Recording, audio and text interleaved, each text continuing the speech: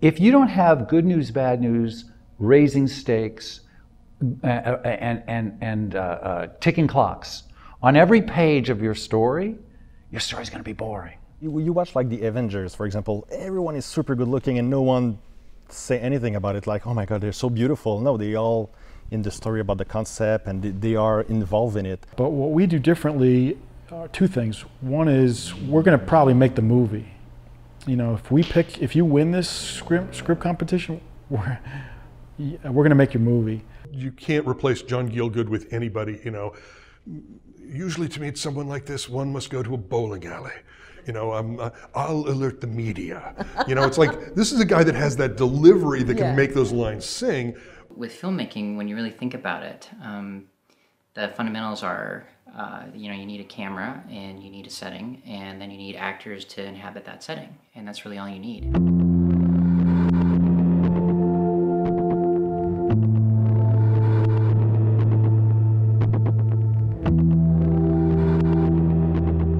It's intense to uh, to shoot a story like the one that we did, 12 hours a day, 14 hours a day, kind of thing. Um, and then detach yourself from it afterwards. So I know that you know when we would fight, we would we would fight, and that would carry over. And uh, you know, and even even the next day on set, you know, we'd kind of have to. He'd bring us together, and we had to resolve some things maybe from the night before. Yeah. And it's not in the script, but you just went crazy and attacked the pirate. Mm. And in doing that, you hit your head. But I couldn't see that, so I just said, "Keep rolling." and Pilou was on the floor, you know, crying. And I thought, he's so fucking great wow, this is not acting, this is real. and then suddenly I could see blood on the floor. Any day now. Yep. Uh, this is all going to fall apart, and uh, the costs will outweigh the benefits, and you'll go get a real job. Mm-hmm. Um, that still could happen. Any moment now. Yeah. Um, that could happen today. Yep. So I did this script, which was a U.S. Finland co-production thing. Hasn't got made, probably never will get made, but nonetheless, I got paid and I've never been to Finland. So I thought, how can I write about, uh, how can I write a movie that takes place in Finland if I've never been there? And I thought, tourists have. Tourists have posted their, their, their home videos on YouTube. Look for someone who is going to challenge you and, and, and work. Because I think a lot of people just want to start getting work right away, which is fine. Don't deny it if it comes. But, you know, not everyone's ready right away. And you just got to really be confident in what you're doing before you start trying to get everyone to like you. What's the target budget you want to shoot this at? And I'll read it, and the first thing I'll say after that is, "Hey, man, you done, Zach? What? You done?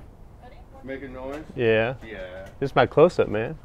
it's part of a producer job. I had a call with you. We were like, you were you were like days away from shooting, and yeah you needed a location, and we were panicking because we had 12 locations and hadn't had hadn't locked in anything.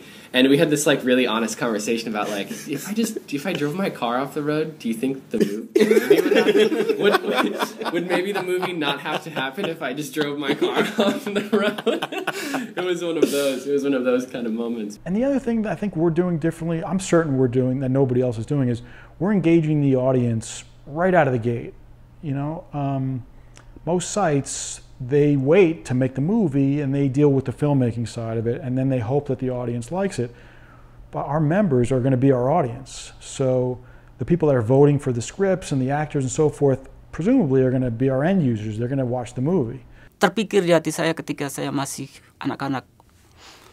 I could feel something about Joshua that would that would be protective and keep us safe but I do have to admit that, that Joshua is also, it's odd to talk about myself, Joshua is also very, um, very brave. Uh, and, and in fact, the only person in Indonesia who'd come to Indonesia who had the courage to open this up in such an effective way over such a long time. And I sort of felt that someone who has that courage and the systematic way of going about things would have the, would, would also was clearly thinking about all the risks and would, would be able to keep us safe. I, I feel that a film, you don't choose the, the film so much. The film chooses you. The story chooses you. And when once it chooses you and you feel you, you feel that like that, that that's what you have to do. You don't you don't you're not thinking about whether it, whether it's going to be successful, whether it's going to be good for your career or something like that.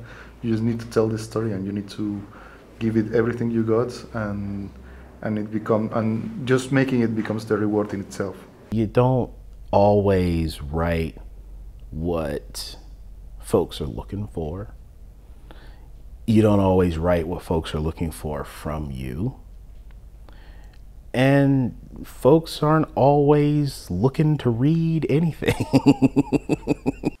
I, I, think brands are actually kind of cool now, a lot cooler than they used to be. I think that they're finally getting the uh, um, content creation element to it. So as long as the creators are staying true to their content and incorporating the brand rather than highlighting the brand or making it seem like it was just for the brand, I think is a cool approach to do it where you can get a paycheck for yourself, you can get your production funded, and also you could work in the brand placement in a nice subtle way rather than hitting your viewers over the head with it. If I could own it outright, I could test it. Um, I could become proficient with it myself. I could try out different lenses and different filters and different stabilizing equipment. Um, and that's exactly what I did. Uh, we got the Blackmagic, and um, you know, after watching lots of reviews for it, uh, and we tried some different lenses and we did some tests. Uh, and lucky for us, there was another uh, lens that had just come on the market, another affordable, really, really great lens. And this was the Sigma 18 to 35 millimeter lens. The story would be no fun if there weren't twists and turns. It's so much more fun to get your goal if it looked like you never were going to get it.